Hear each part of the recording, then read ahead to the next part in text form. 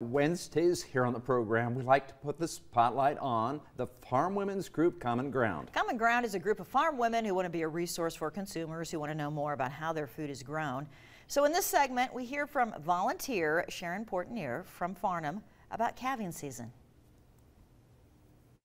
It is that time of year again, calving season, and we are learning more about what producers are thinking about this time of the year. Joining me now is Sharon Portenier from the Farnam area. Give us a little bit of an idea of what's going on right now with calving season.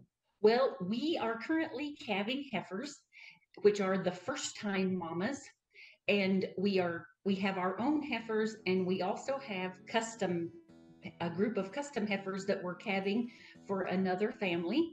We're just getting started with our cow herd. What are you thinking about right now? What are some of the things you're doing to make sure the animals are safe and cared for?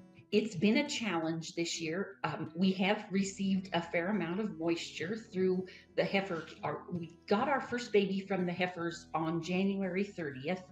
So we've been going at this for a little while, keeping them comfortable, keeping them well fed, uh, it's all very, very important because this is our paycheck for the year. And if we don't take care of these mama cows, those mama cows aren't going to take care of us in the end when it comes time to sell calves. So uh, it's very important that we keep them comfortable. And my husband and our daughter that works with us go out and they we have a, a machine behind the tractor that spreads bedding out, and we use either um, wheat straw or corn stalk bales.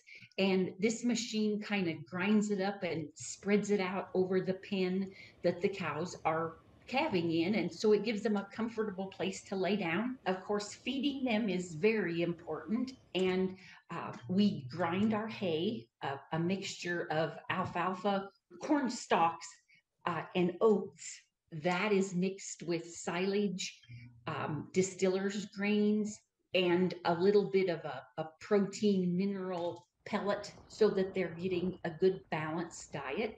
Our cow herd has their own nutritionist. When it was so cold, we just about lived with the cows.